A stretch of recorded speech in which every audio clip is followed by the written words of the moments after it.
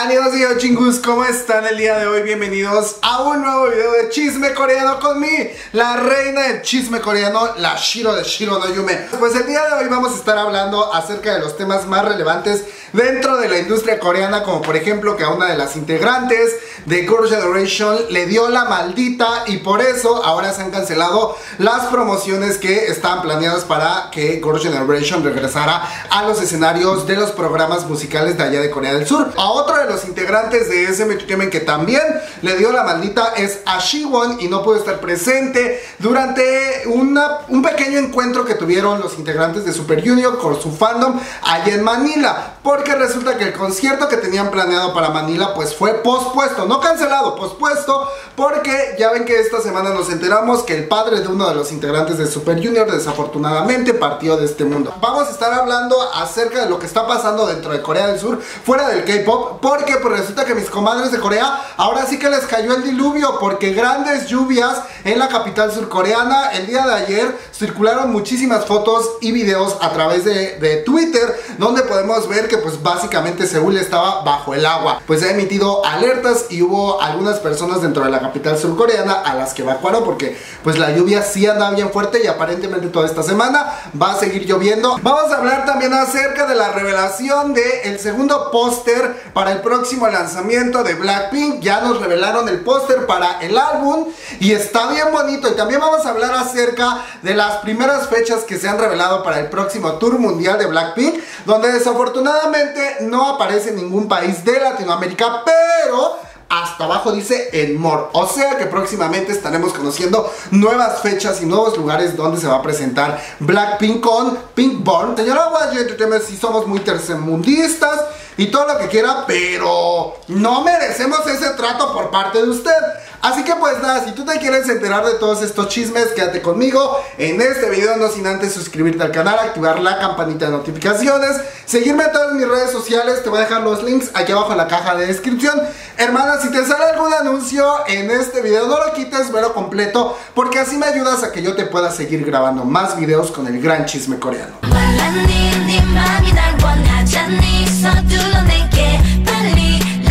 Empecemos con las grandes noticias porque durante la semana pasada tuvimos el tan esperado regreso de las generación de niñas. Girl Generation lanzaron un video musical, un álbum que está hermana, hermoso. Y perdóname, le duele quien le duela, pero el álbum está bien bueno. El álbum es una antología musical por todos los estilos que ha adoptado Girl Generation a lo largo de sus 15 años dentro del mundo del K-pop. Si ustedes no lo han ido a escuchar, ya está disponible en todas las plataformas digitales. En la YouTube está el video de la canción de promoción que es Forever One. Mi reacción al video musical y al álbum ya está en el canal, lo pueden ir a ver, es el video anterior a este. Ahora, hablemos de números, porque acá lo que nos interesa también es saber, bueno, pues cuánto vendieron, porque al final de cuentas, negocio es negocio, mami, ¿y cuántos dinero les va a tocar? Pues figúrate tú que le fue muy bien.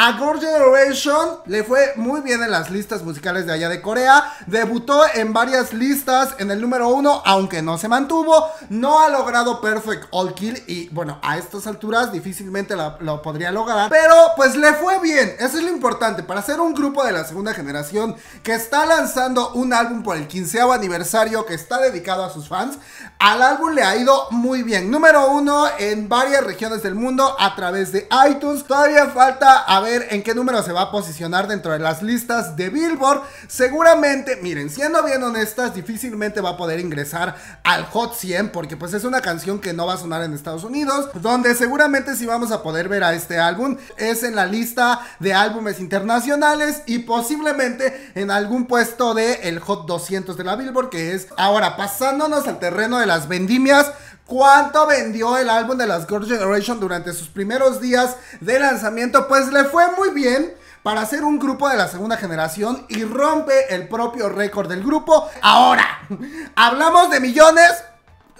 Pero si hablamos de más de 100.000 copias vendidas dentro de sus primeros cuatro días de lanzamiento. Hanteo ha reportado que Girl Generation rompe su propio récord que habían establecido con su anterior lanzamiento que había sido Holiday Night. Entonces, hablar de 100.000 copias vendidas de un lanzamiento de un grupo de la segunda generación que está regresando 5 años después de su última promoción son muy buenos números. En su momento fueron de los grupos que más vendieron, pero claro, estamos hablando de una segunda generación. Actualmente el K-pop ha cambiado muchísimo y la dinámica de compra de álbumes dentro del K-pop es muy diferente a lo que fue hace mucho tiempo. Y ahorita los grupos actuales de K-pop hablamos de ventas del medio millón para arriba. Pero mira, yo con 100 mil copias que vendieron y lo que van a vender próximamente ya me doy por bien servida. Y yo digo, ya recuperó la SMTM lo que invirtió.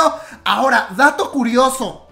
Al parecer, las integrantes de Core Generation estuvieron muy metidas en el tema de producción, en el tema de los arreglos, la escritura, la dirección de este álbum y posiblemente hasta invirtieron grandes dineros dentro de este álbum. Mira, por los datos que hemos ido recabando, por las entrevistas que han dado las integrantes, todo apunta a que también las integrantes pues invirtieron su dinerita para este nuevo álbum, lo cual está muy bien porque eso quiere decir que pues les va a tocar una buena tajada de las ganancias de este álbum, no solamente por su trabajo como idols y como integrantes de Girls' Generation, sino también pues las regalías que deje este álbum.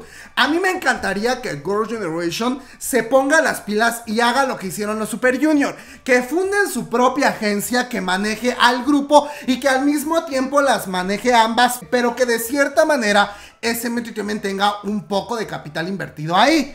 Eso es lo que mis comadres debieron haber hecho, porque recordemos que hace un par de años atrás Super Junior hizo eso. Los integrantes de Super Junior terminaron comprando y adquiriendo los derechos de toda la marca de Super Junior, fundaron su propia agencia, pero de todos modos no se desprendieron completamente de ese Entonces es una muy buena fusión porque ahorita los integrantes de Super Junior son los dueños de la marca de Super Junior. Por ahí varios ustedes me empezaron a mandar mensajes que si posiblemente Super Junior ya no renueve contrato con SM porque ya se acerca su 17 aniversario. En el caso de Super Junior todo funciona muy diferente porque recordemos que el contrato directo que tiene Super Junior y los integrantes con Super Junior no es un contrato directo con SM es un contrato directo con SJ Level, agencia que se encarga del manejo de Super Junior y de cada uno de los integrantes y que al mismo tiempo esta agencia pertenece a los integrantes de Super Junior y un porcentaje le pertenece al fandom y otro porcentaje le pertenece a SM Entertainment. Entonces mis comadres de Super Junior fueron muy listas porque no dependen al 100% de SM Entertainment, pero SM Entertainment está obligada a promocionarlos. ¿Saben? Por eso es que los Super Junior se pueden dar el lujo de hacer y deshacer porque al final de cuentas ellos son dueños de su propia marca. Cosa que yo no veo que estén haciendo mis generación de niñas. Entonces, hermanas, Pónganse busas caperuzas porque al rato yo no quiero que me la chamaquen. Y se quedaron chiflando en la loma sin marcas, sin canciones. El tema de promoción ha recibido críticas variadas. Hay gente a la que no le gusta, hay gente a la que le gusta.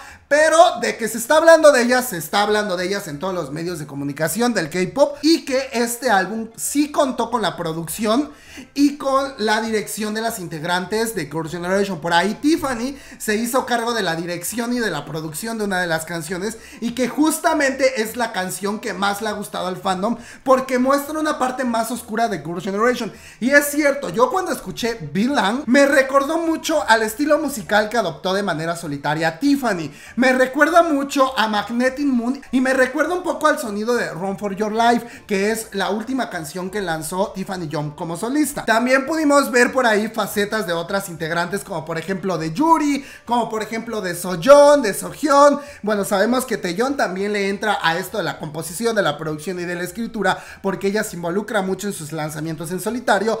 Pero me agrada mucho que eh, las integrantes hayan tomado las riendas, por lo menos una parte de la producción de este álbum, porque pues es su quinceavo aniversario y ya se lo merecen. La verdad es que felicidades a mis comadres y estoy esperando a que me manden mi centro de mesa. Yuna, si me estás viendo, mi centro de mesa de la pachanga de los 15 años lo dejé ahí en tu departamento. Está detrás del sofá.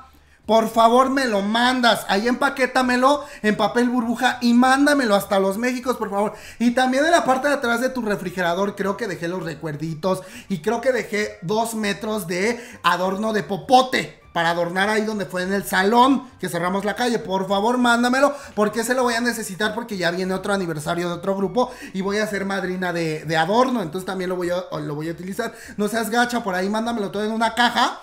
Y yo aquí te pago el envío, por favor. Justamente hablando de las Girl Generation. Ay, pues figúrate tú que la Sojión, la integrante más pequeña del grupo, le dio la maldita positivo a la maldita Cristo bendito. Y todo esto ha preocupado mucho al fandom. Uno, por la salud de Sohyun, que afortunadamente se encuentra estable. SM a través de un comunicado reveló que desafortunadamente Sohyun había dado positivo a la maldita, pero que ya se encuentra en recuperación. Mi comadre salió a dar un mensaje a través de sus redes sociales donde se disculpó con el fandom. Mira, hermana, no te tienes que disculpar porque esto no es como que nosotros lo podamos controlar. Lo primero es tu salud. Mejórate y es una lástima, sí. Porque estábamos bien hambriadas de ver promocionar a las Girl Generation nuevamente en programas musicales. Pero ¿qué le vamos a hacer? Ya te agarró la maldita de la peluca y pues ahora vamos a esperar a que te suelte. Afortunadamente la Sojión se encuentra bien de salud. Ella dijo que ya está en tratamiento, que está aislada y se disculpó con el fandom porque ella pues no creería que se iba a contagiar porque ella se encuentra bien de salud. Aparentemente se ha estado cuidando mucho, pero pues traca tra tra que le hicieron la prueba de la maldita justamente ahora que van a iniciar las promociones en programas musicales porque se iban a presentar en Inkigayo, en Music Core, en M Countdown y en Music Bank. La agenda de promociones de Girl Generation iba a ser como de aproximadamente 15 días para dar promoción a este lanzamiento. Pero pues ahora ya no se va a poder porque SM Entertainment a través de un comunicado reveló que todas las promociones del grupo se han cancelado, que están monitoreando a las demás integrantes y que vamos a ver actuar a las Girl Generation hasta la próxima semana en los próximos programas musicales en lo que pasa todo esto. Y seguramente están esperando a que ninguna de las demás integrantes presente síntomas para que puedan promocionar la próxima semana aunque Sohyun no esté, no esté presente. Todo esto te digo que pues de cierta manera ha puesto triste al fandom porque esperábamos ver a las chicas promocionar en programas musicales. Luego además pues no habíamos tenido promociones de ellas y ahorita que ya se está permitiendo la entrada de público a los programas musicales, que aguas, ahí hay otro tema, te tengo que contar, es que hay mucho chisme que tenemos que contar. Pues Inkiga yo y todos estos programas musicales de allá de las Coreas emitieron varios comunicados la semana pasada porque con el rebrote de la maldita allá en Corea que está al igual que el mundo, o sea, los contagios van para arriba.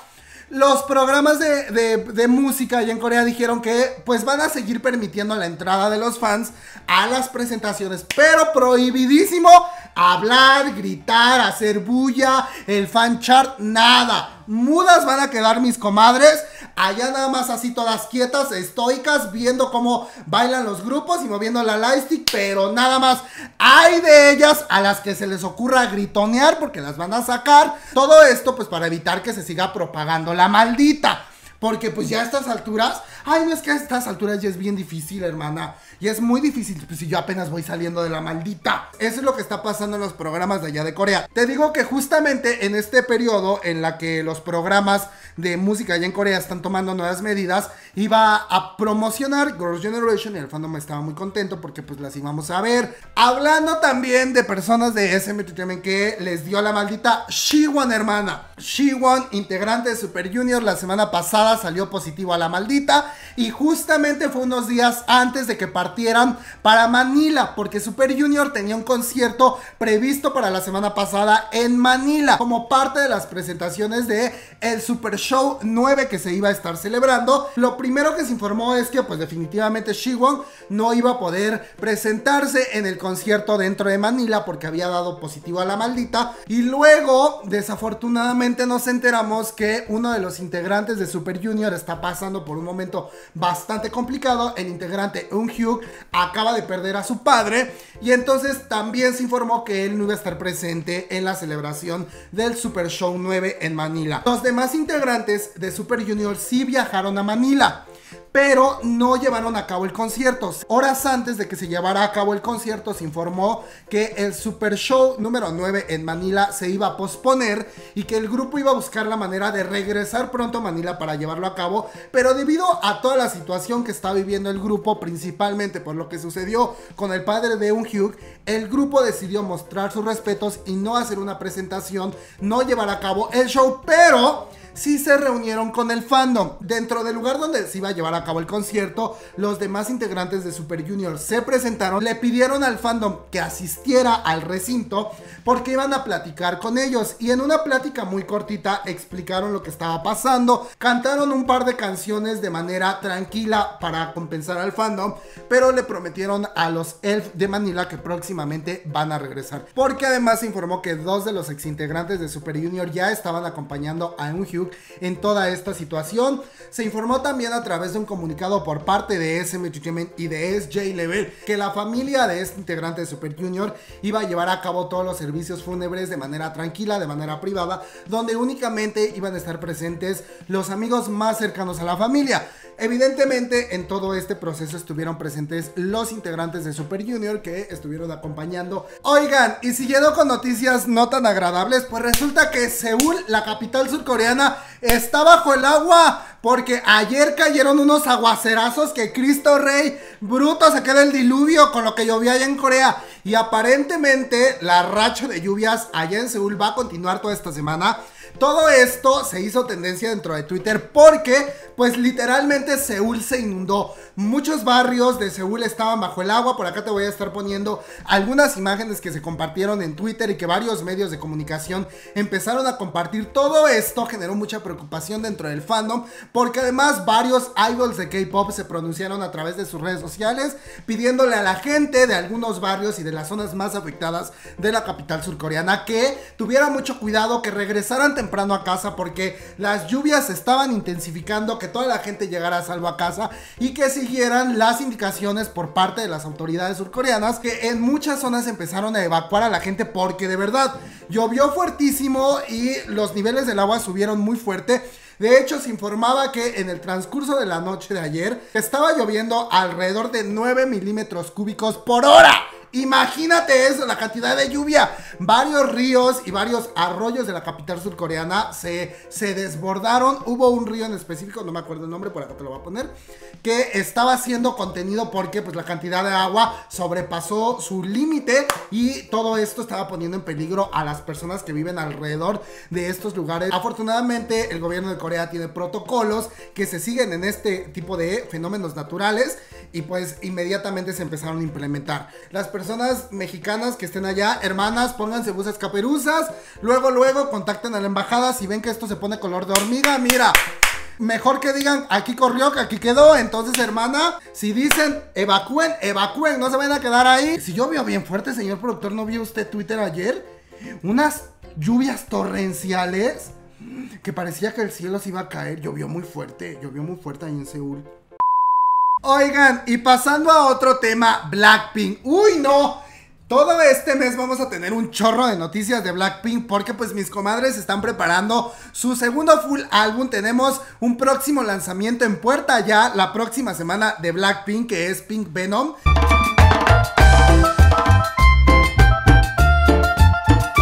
Que es el primer single de toda la serie de promociones para este nuevo álbum que va a lanzar Blackpink el próximo 16 de septiembre, figúrate tú. Y es que el día de hoy la YG Entertainment reveló el segundo póster para anunciar los lanzamientos y las promociones de Blackpink. En este segundo póster que a mí me encantó, te lo voy a estar poniendo por acá, porque es en color blanco con unos detalles en, en grisecito plateado y también con los colmillos que hemos estado viendo desde que se anunció el regreso de Blackpink en color rosa gold, o sea, como rosita doradito. Y está fascinante. A mí me encanta. En este segundo póster podemos ver nuevamente Born Pink, que aparentemente va a ser el título de este segundo full álbum de estudio de las Negro Rosa. Y que además vemos también la fecha de lanzamiento que va a ser el próximo 16 de septiembre Mero, vamos a estar aquí en los Méxicos comiendo pozole y tostadas tostadas con harto guacamole, con harto repollo. Ah, pues claro, porque 16 de septiembre es el, el aniversario de la revolución. No, de la revolución, bruta. De la independencia de los Méxicos. Que nos hicimos libres del yugo español. Ay, porque las otras jotas vienen y nos invaden. Ay, no, hombre, no. Pero afortunadamente nos hicimos libres de ellas. Ya que nos, ya que nos habían dejado en la pobreza. Ya que se habían llevado todo. ¿Cuánto odio y cuánto rencor tenemos a la madre patria? Pero es que si se pasaron, viejas culeras. Por lo menos se hubieran llegado poquito oro. No que nos dejaron, miren, en crisis. Ay, pero bueno. Te digo, regresando al tema de las, de las negro rosa. La fecha de lanzamiento de este segundo álbum va a ser el 16 de septiembre en fecha y horario de Corea. O sea que aquí en los México se va a estar lanzando el 15 de septiembre, pero de todos modos, 15 y 16 de septiembre es fecha importante para los Méxicos porque pues es de, de, nuestra independencia. El 15 en la noche es el grito de independencia y se hace todo faramaya y media allá en el Zócalo capitalino de la Ciudad de los Méxicos. Entonces luego hay concierto y luego va a salir el presidente, que ahorita es el abuelito este, y va a decir ¡Viva México! Y y va a sonar la campana. Va a estar colgado del campanario ahí el señor. Y te, te imaginas Ay, es que las Negro Rosa nos quieren. Esto es una señal de las Negro Rosa. Es un mensaje subliminal. Como nos están diciendo, México, sabemos, 16 septiembre, sombrero de charro, traje típico, pozole y tacos. Ay, no, porque sí estábamos bien tristes, la verdad. Bueno, la verdad es que no tanto, porque todavía hay esperanza.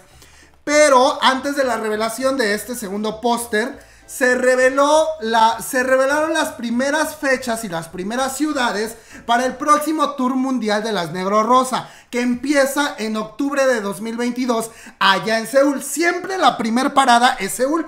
Luego de allá se van para Gringolandia, luego se van para las Europas, van a estar en Londres, en Barcelona, van a estar en Dallas, van un chorro de ciudades.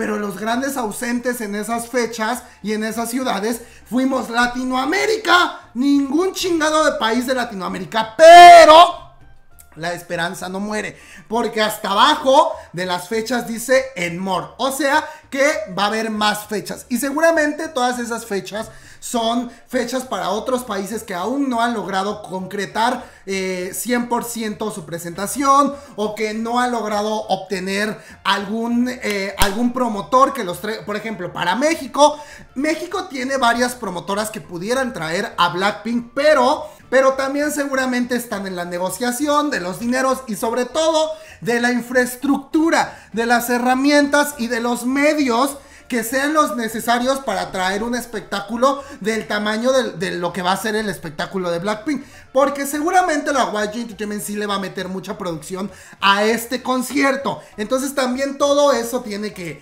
ver y también a lo mejor por eso es que no se ha logrado concretar alguna fecha en Latinoamérica. Porque tal vez no, no han logrado negociar lo suficiente o no hay las herramientas, no hay las... Em, pues los medios necesarios para asegurar el bienestar tanto de las integrantes, el bienestar del espectáculo y de los asistentes sobre todo. Pero te digo que la esperanza de ver a las Negro Rosa en algún país de Latinoamérica, ya sea en los Méxicos, en Perú, en Chile, Colombia, Brasil, donde sea, aún no muere, porque todavía hay muchas fechas disponibles de hecho, podemos ver que las fechas están bastante espaciadas. Seguramente dentro de esos espacios y largos periodos de tiempo en la que aún no hay una fecha anunciada, seguramente esas fechas se están negociando con algunos otros países para que pues se lleve a cabo algún concierto de Blackpink. Entonces esperemos que en las próximas rondas en las que YG Entertainment anuncie más fechas y más ciudades para el concierto de Blackpink, se encuentre algún país de Latinoamérica, se encuentre México, oigan. Oigan, sí, México, uno que esté cerquita de México. No sé, este, es que ya cualquier país es que miren, países que pudieran países que tienen la capacidad para poder auspiciar un concierto de Blackpink sería Ecuador, Perú, Colombia, Chile, ay, no lo sé, Argentina por la situación eh, de crisis por lo que está pasando, dudo un poquito, y Brasil. Y de esos países, el que más cerca me queda es Ecuador. Pero así que digas, ¿está a una hora? No, hermana, está como a tres horas.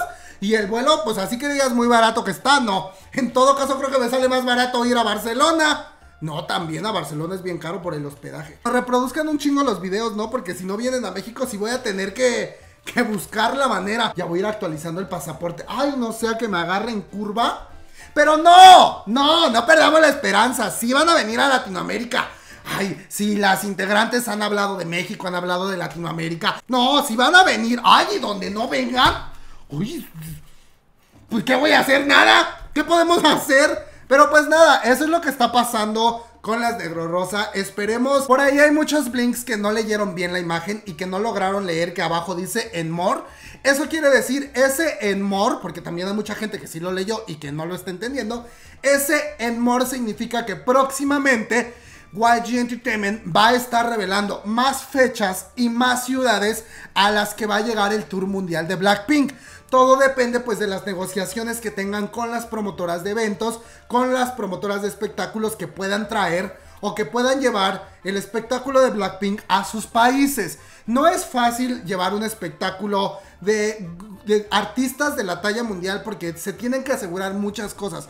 Una de estas primeras cosas es asegurar la asistencia, asegurar que haya un espacio que vaya a poder eh, aguantar la asistencia, la infraestructura y que se cuenten con los medios, o sea, con la tecnología que vaya a requerir el evento, que haya capacidad para albergar a la gente que asista al evento, eh, que se cuente con las medidas de seguridad necesarias. Y ahorita con el tema de la, de la maldita, pues, y, y con lo de la con la, esta cosa del mono, pues aún más, las medidas sanitarias son aún más exigentes, entonces Seguramente si vienen a Latinoamérica nada más hay que esperar a que próximamente YG anuncie fechas y países a donde se va a extender este tour. Y ya si no llegaran a venir, pues nos armamos una barbacoa todos con el dinero que ahorremos. Mandamos a hacer barbacoa de chivo, barbacoa de res y nos vamos a comer todas juntas ahí a un campo. Pues sí, oye, ya si ahorramos, si alcanza para unos varios kilos de barbacoa, ¿no? Y hacemos taquitos y guacamole y así.